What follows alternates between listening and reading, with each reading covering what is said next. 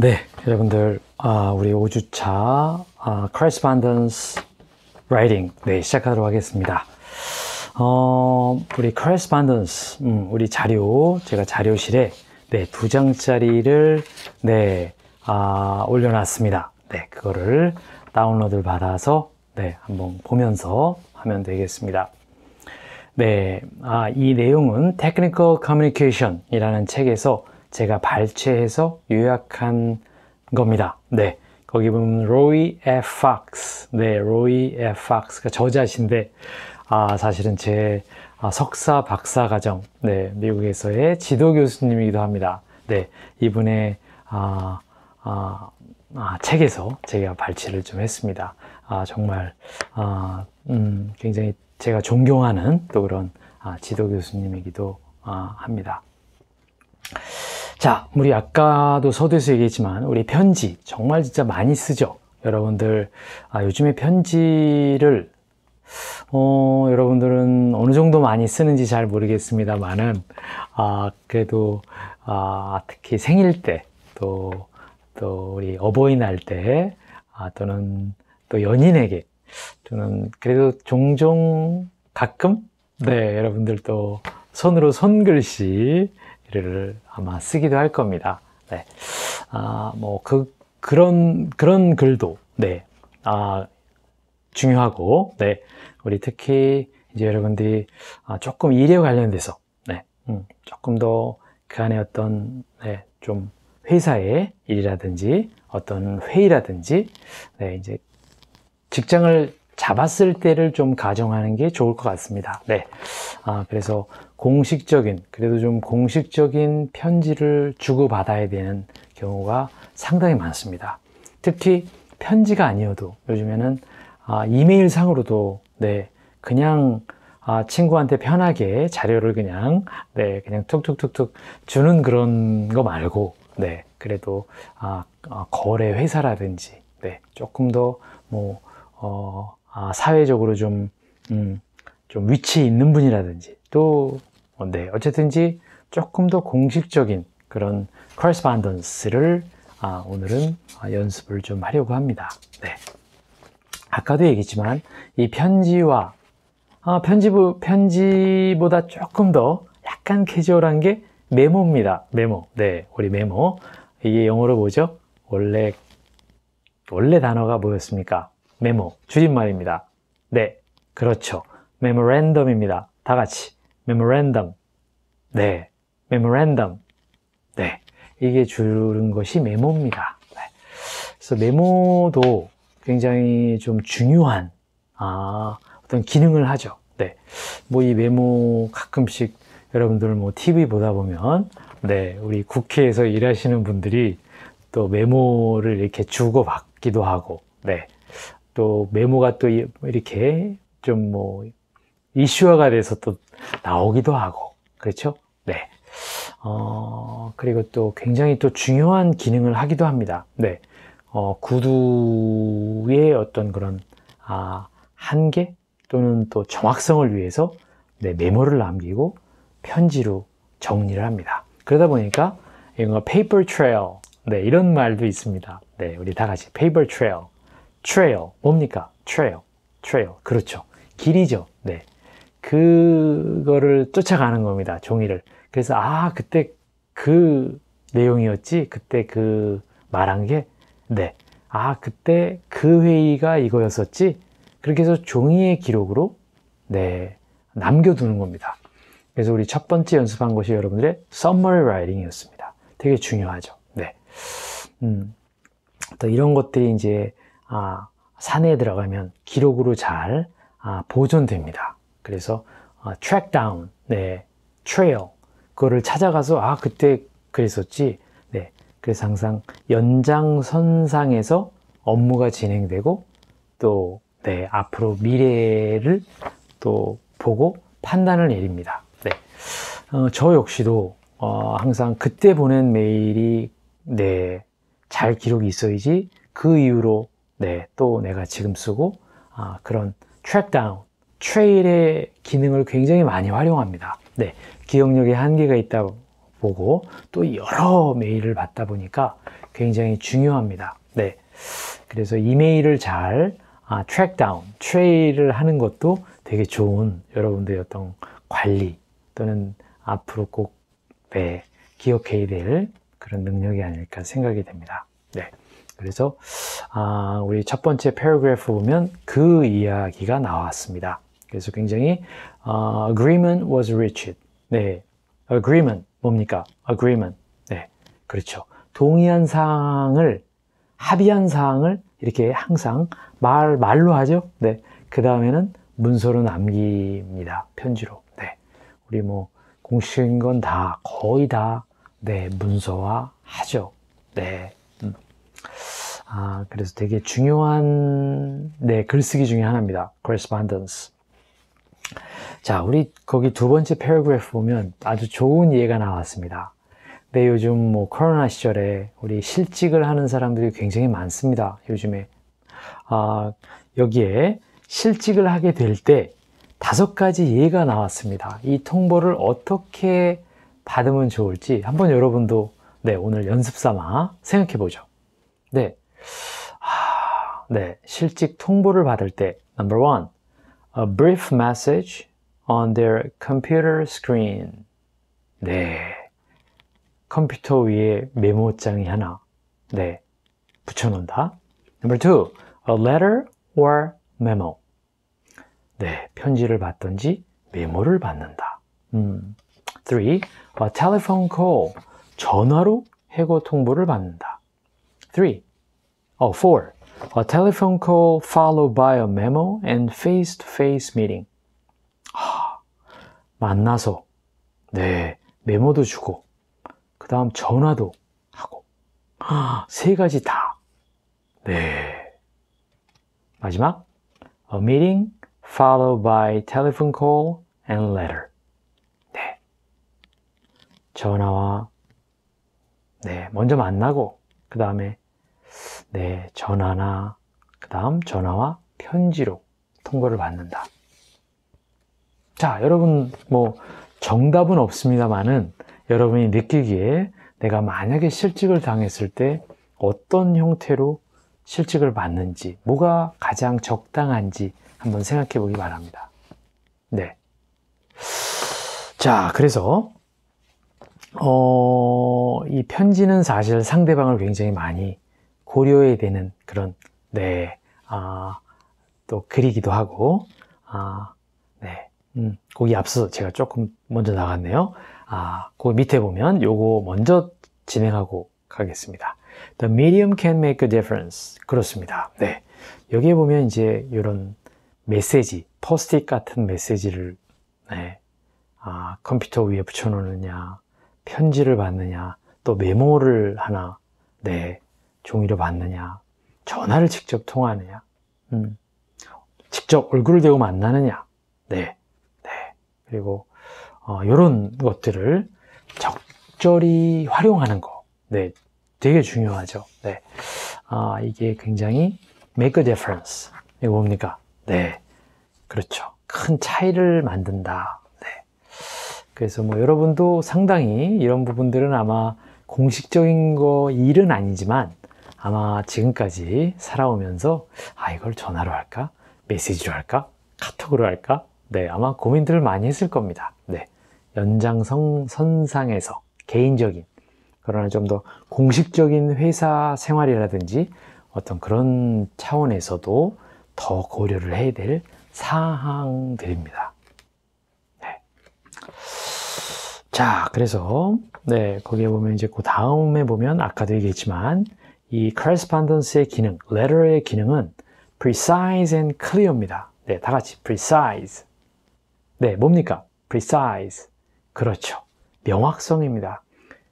precise and clear. 네, 편지를 쓰, 면 네, 어, 메모를 하면 어떤 정확하게 오해의 소지를 줄이게 되는 영, 경향이 크죠. 글로 남기면. 네. 그래서 굉장히 글이 당연히 분명해야 되고, 네. 좀 더 구체적이고 정확해야 됩니다. 네. 글의 성격이. 네. 우리 뭐 말은 좀 둘이 뭉실하게 할 수 있죠. 네, 네, 맞습니다. 네. 아, 그래서 결국 avoiding future conflicts. 네. 다 같이 conflict. 뭡니까? 그렇죠. conflict. 네, 문제입니다. 네. 문제의 요소를 조금 avoiding. 네, 뭡니까? 그렇죠. 피하는 경향이, 네. 네. 즉, 편지와 메모의 기능이 바로 이 목적 때문에 기록에 남깁니다. 네. 오해의 소지가 없게. 네.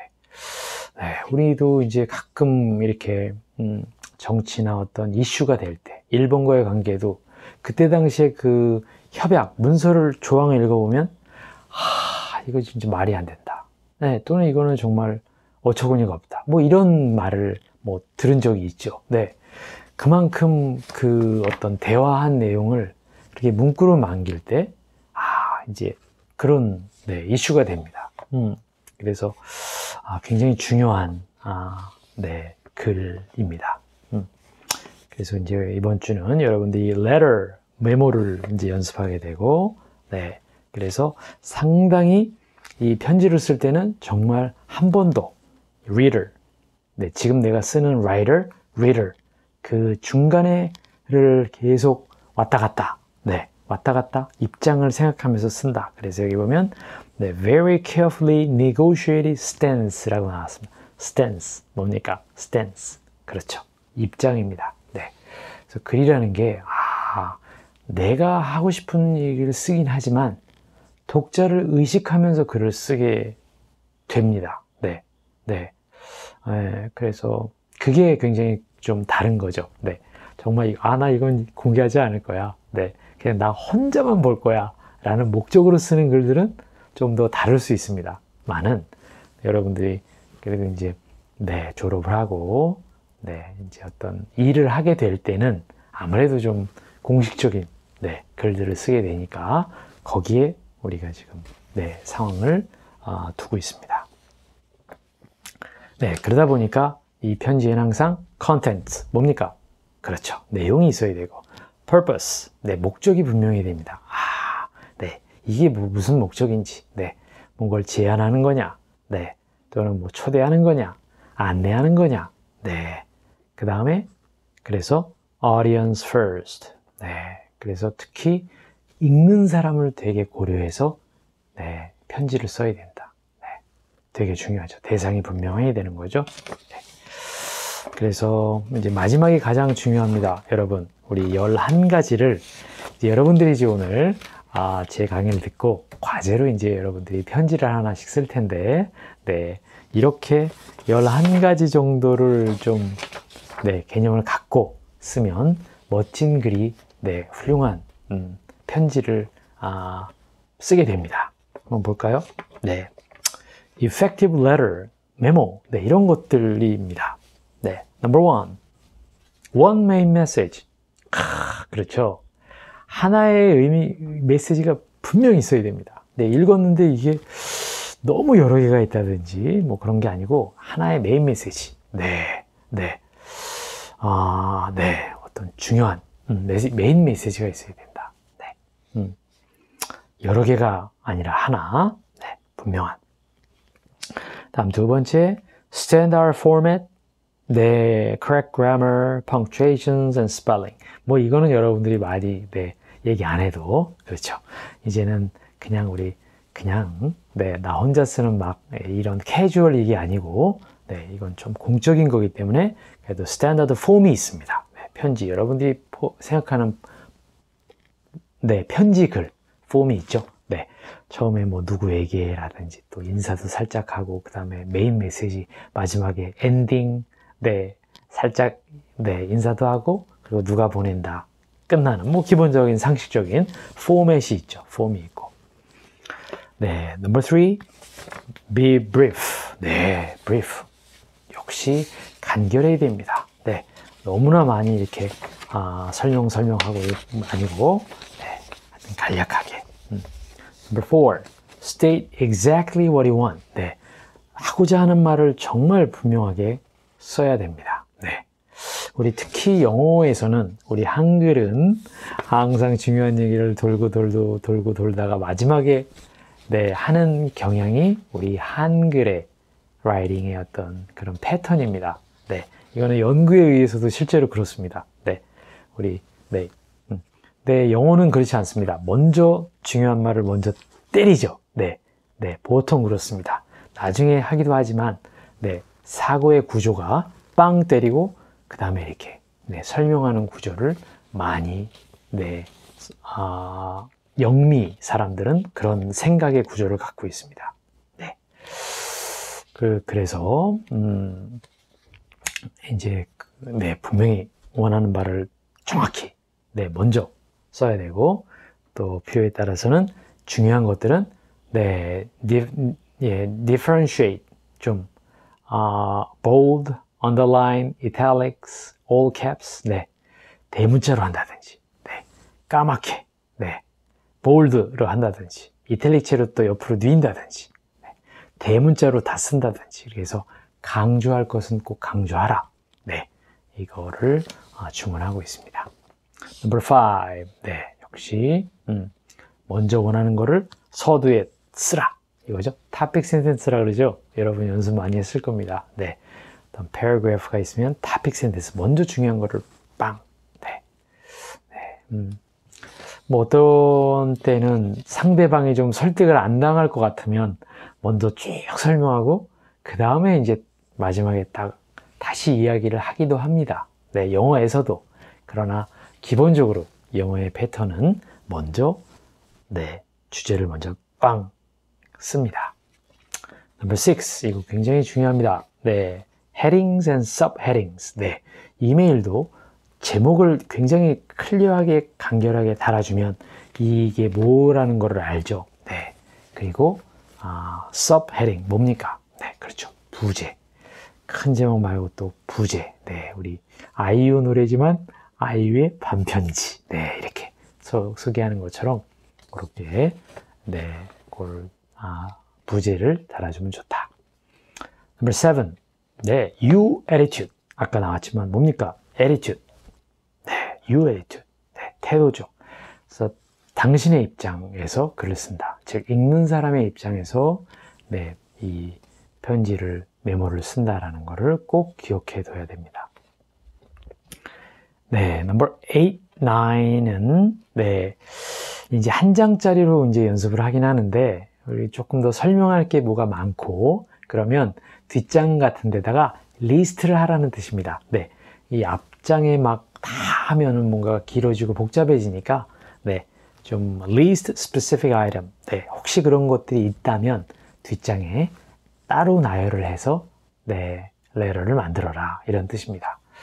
뭐 우리 책 같은 데 보면 나중에 네, 인덱스 또는 appendix라 그래서 따로 이렇게 좀 네, 붙이죠. 뭐 그런 겁니다. 편지에서도 충분히 뭐 첨부 일종의 첨부인 거죠. 네, 그렇게 할 수 있습니다. Number 10. 이거 중요합니다. 그래서 편지를 쓰지만 결과적으로 마지막에 한 번 더 summing up. 네. calling for action. call for. 뭡니까? 네. 이러이러한 거, 그렇죠. 요청하는 겁니다. call for. 그래서 이런 액션을 취해 주기를 바랍니다. 라고 한 번 더 마지막에 편지 뒷부분에 딱 정리해 주면 편지를 읽었을 때 굉장히 좀 일목요연해지고, 네.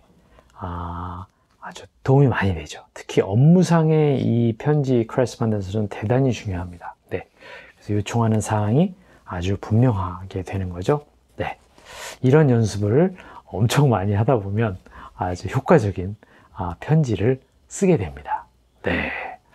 이제 이거를 이제 영어로 네, 연습을 네, 여러분들도 오늘 한번 네, 하게 됩니다. 네.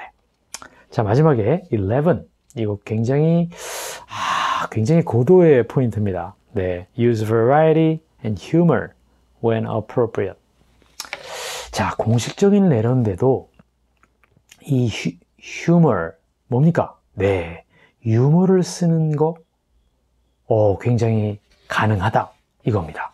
근데 상당히 appropriate 뭡니까? 적당하게. 네, 굉장히 좀 업무를 하다 보면 좀 따분하고 좀 boring. 그렇습니다. 좀 지루해질 때도 있긴 해요. 네.